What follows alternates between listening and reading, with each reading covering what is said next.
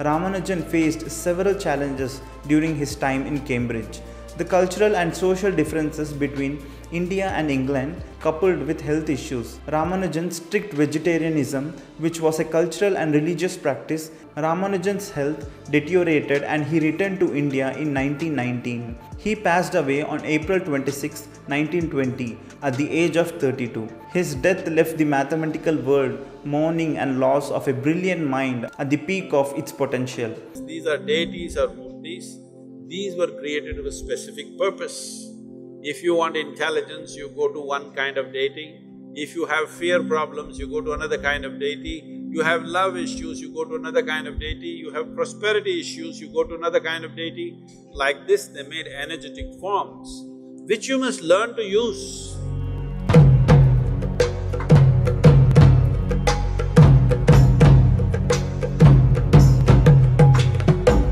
Getting into the details of Ramanujan's life, let's first watch Sadhguru's video. It is believed that Srinivasa Ramanujan could write mathematical equation as if he had access to the whole universe. He also says that Goddess dict- dictates him those mathematical ideas. How can I reach to that state? That is the question. First you must find a goddess. All of you, do you use a phone? Why? Why do you use a phone? Why did we first of all make a telephone? Because we can speak. If we had no ability to speak, would we manufacture a microphone, a telephone, any of these things? Hello? No. Why did we come up with a bicycle? Because we can walk, but we wanted to walk faster, so we ran. We ran and we knew there's a limit. We wanted to go faster than that, so we came up with a bicycle. Suppose we were made like a tree, rooted to one place, would we have invented a bicycle? No. So a telephone, a telescope, a microscope, bicycle, automobiles, airplanes, everything what? What faculties we already have, we want to enhance that. We have not come up with any machine for which we had no faculty and suddenly we came up with something because we don't even know what those things are. Yes? The faculties that we do not have, we have no way to perceive that whether it exists or it doesn't exist. Only faculties that we have, we are trying to take it far.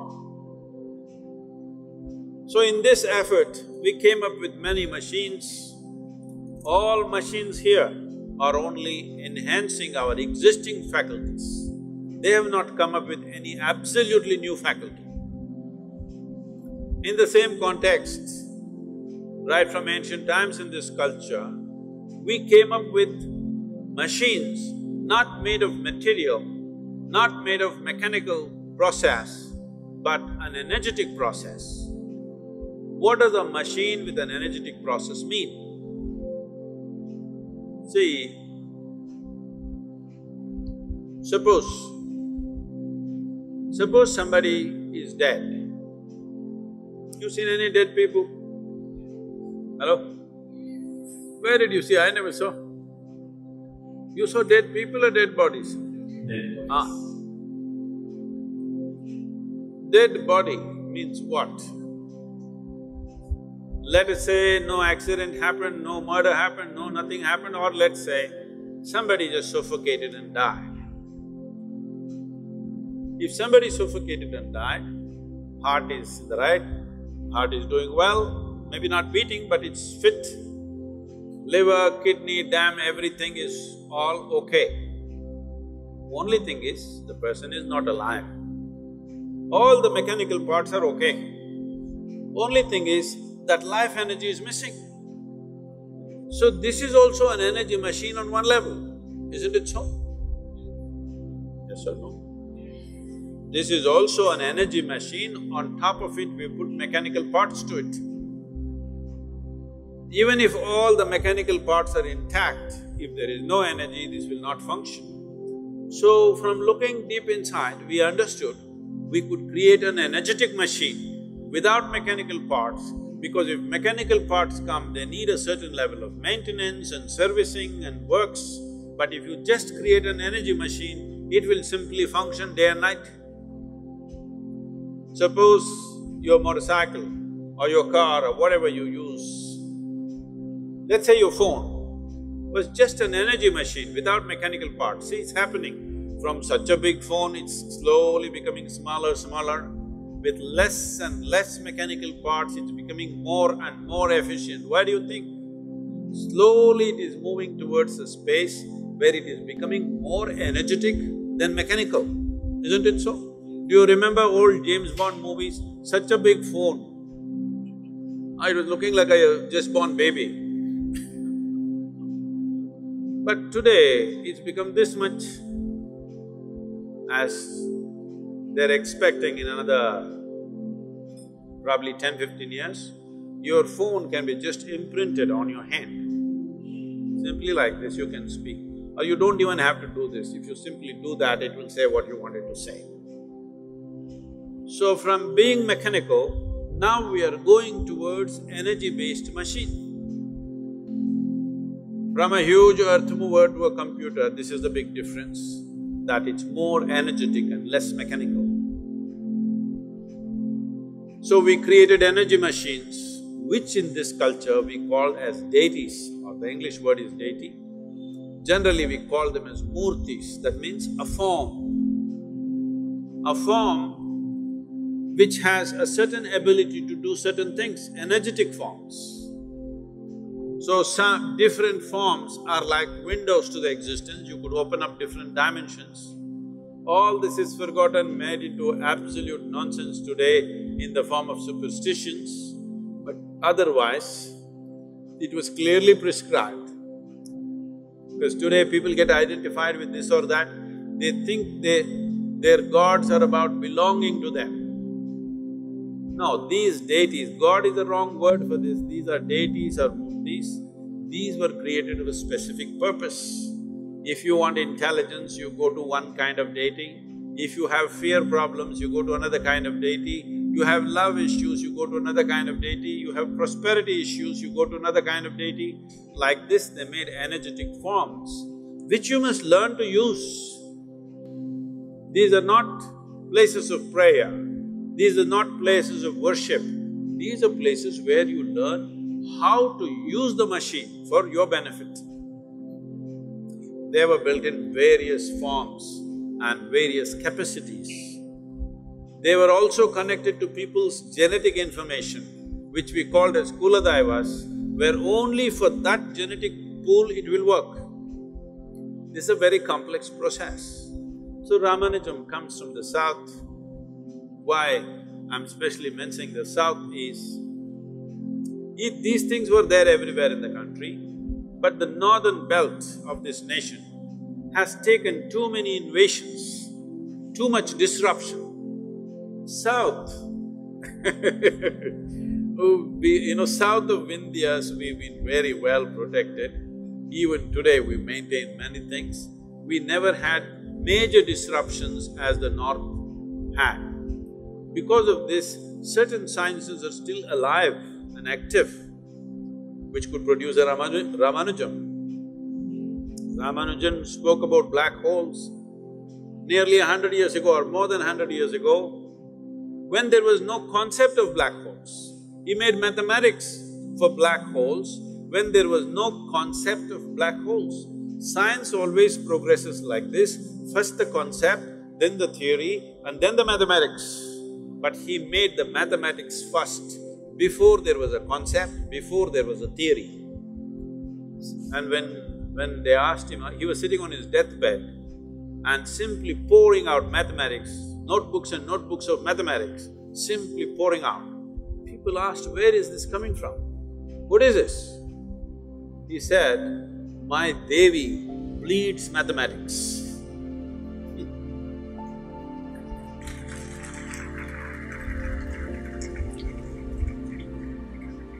Srinivasa Ramanujan, an enigmatic and self-taught mathematician from India, left an indelible mark on the world of mathematics. with his profound and groundbreaking contributions. Born on 22nd December 1887 in Erode, Tamil Nadu, Ramanujan's life was tragically short, but his work has had a lasting impact on various branches of mathematics, including number theory, infinite series, and modular forms. Ramanujan's early life was marked by both brilliance and hardship. His family, consisting of a clerk father and a housewife mother, struggled financially. Despite facing economic challenges, Ramanujan displayed an early aptitude for mathematics. He was largely self taught, delving into advanced mathematical texts and exploring concepts independently. At the age of 12, Ramanujan independently developed sophisticated theorems and identities. His notebooks, filled with mathematical discoveries, hinted at the depth of his innate mathematical abilities. However, due to financial constraints, his formal education was limited and he faced challenges in securing the recognition his talents deserved. In 1909, at the age of 21, Ramanujan married Janaki Ammal, a girl chosen for him by his family. The marriage was arranged following the cultural norms of the time. Janaki, who was supportive of Ramanujan's passion for mathematics, played a crucial role in his life. However, Ramanujan's intense focus on his mathematical pursuits sometimes strained his familial relationships. The marriage also faced challenges due to Ramanujan's deteriorating health and financial struggles. His health issues, which later became more pronounced during his time in England, began to manifest early in his life. Despite these challenges, Janaki stood by him, providing emotional support during difficult times. The journey to recognition Ramanujan's breakthrough came in 1913 when he secured a clerical position at the Madras Port Trust. His colleagues recognized his mathematical prowess, and one of them, S. Narayana Iyer, played a pivotal role in connecting Ramanujan with the mathematician G. H. Hardy. Hardy, astounded by the depth and originality of Ramanujan's work, invited him to Cambridge in 1914. The collaboration between Ramanujan and Hardy proved to be highly fruitful. Despite cultural and societal differences, the two mathematicians developed a strong professional relationship. Ramanujan's work during his time in Cambridge and groundbreaking contributions to mathematical fields. Ramanujan's most significant contributions lie in the realm of number theory. He produced a wealth of results related to highly composite numbers, elliptic functions, and modular forms. One of his famous results in the Ramanujan Hardy number 1729, famously known as the taxicab number. When Hardy visited Ramanujan in the hospital and mentioned arriving in a taxi with the unremarkable number 1729, Ramanujan quickly responded that 1729 is an interesting number because it is the smallest positive integer that can be expressed as the sum of two cubes in two different ways. Infinite series. Ramanujan made significant contributions to the theory of infinite series. His work on hypergeometric series and mock theta functions brought new insights and opened up avenues for further research. His series representations for mathematical constants such as pi were particularly noteworthy. Ramanujan's infinite series continue to be studied and applied in various branches of mathematics. Mock theta functions. Ramanujan introduced mock theta functions, a family of functions that later became instrumental in the development of string theory and quantum physics.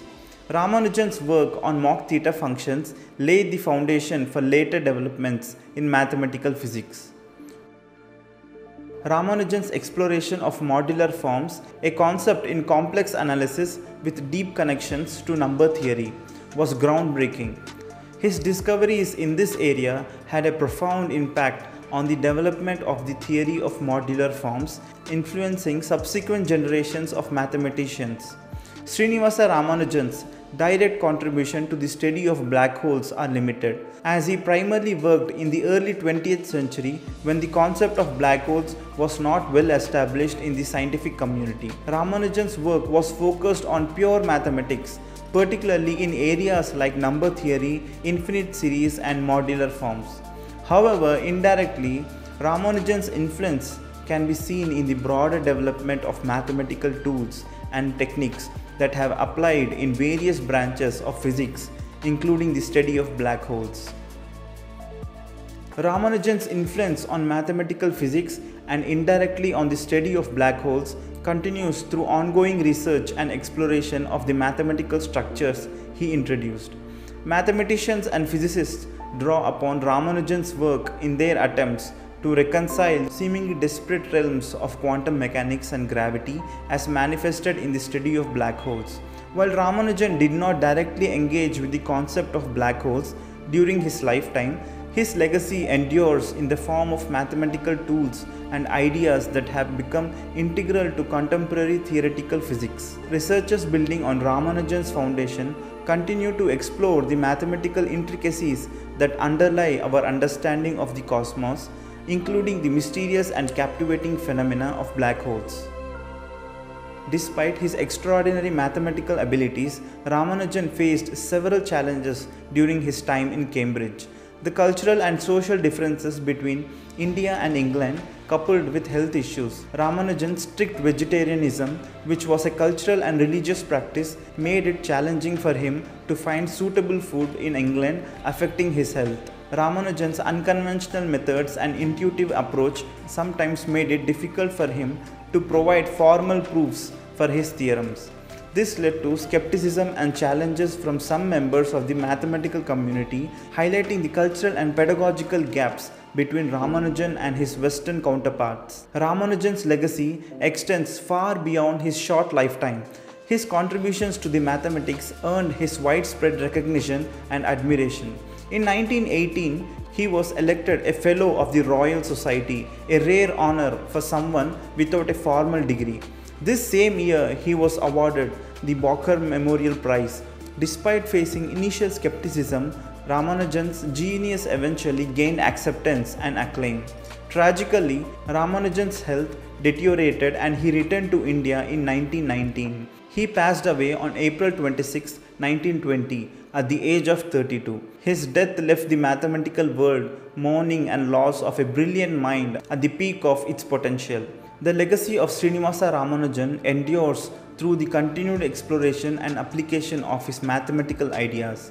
Mathematicians worldwide have dwelled into Ramanujan's notebooks, which contain a treasure trove of unpublished results and conjectures. Scholars and researchers continue to study and extend his work, unraveling the mysteries embedded in his mathematical creations. Ramanujan's influence extends beyond mathematics. His life story has inspired numerous books, documentaries, and films. The Man Who Knew Infinity, a biography by Robert Kanigel, and a subsequent film adaptation brought Ramanujan's life and work to a broader audience, further solidifying his status as a mathematical luminary.